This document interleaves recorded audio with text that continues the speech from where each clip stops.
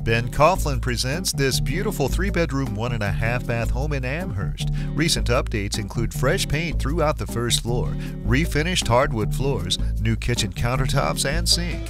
The living room and dining room have hardwood floors. The family room has a gas fireplace. Enjoy a huge multi level deck and patio in the fully fenced yard. There's also an attached garage, a basement with a half bath, a central vac system in all rooms, newer electrical, hot water, furnace, and roof. There's great curb appeal. Call today for your tour.